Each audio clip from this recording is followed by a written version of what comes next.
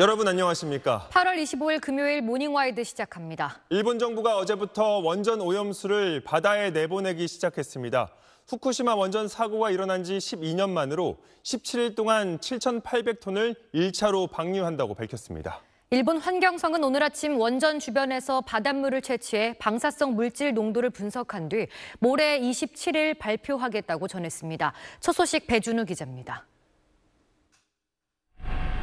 어제 낮 1시 3분 후쿠시마 제1원전에서 바다로 연결되는 1km 길이의 해저 터널을 통해 오염수 방류가 시작됐습니다.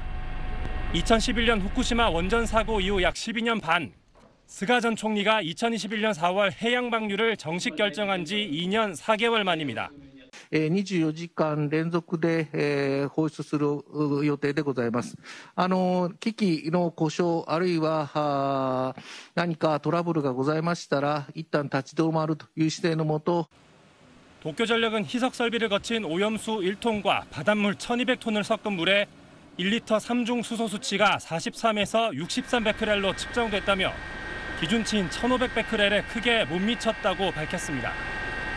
도쿄전력은 앞으로 17일에 걸쳐 모두 7,800톤을 1차로 방류하고 내년 3월까지 순차적으로 3만 1,200톤을 방류한다는 계획입니다.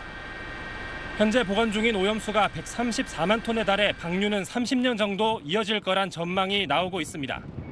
하지만 2051년까지 원전을 폐쇄하겠다는 목표에 대한 회의적인 시각이 많은 데다 빗물이나 지하수로도 매일 90톤 정도의 오염수가 추가 발생하고 있어서 정확한 종료 시점은 가늠하기 어렵습니다.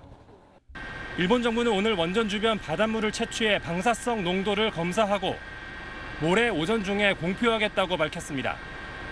국제 원자력 기구 IAEA는 방류 과정이 안전하고 투명하게 진행되도록 하겠다면서 오염수 방류 관련 웹페이지를 개설하고 3중 수소 농도 등 데이터를 제공하겠다고 밝혔습니다. SBS 배준우입니다.